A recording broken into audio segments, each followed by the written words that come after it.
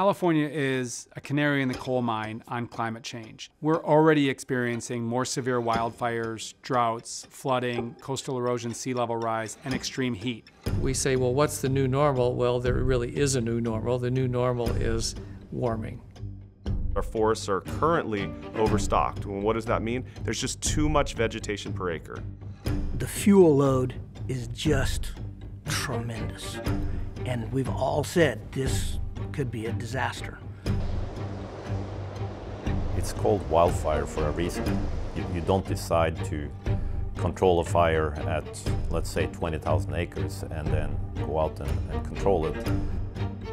When we were getting ready to leave, my son, my nine year old, was asking.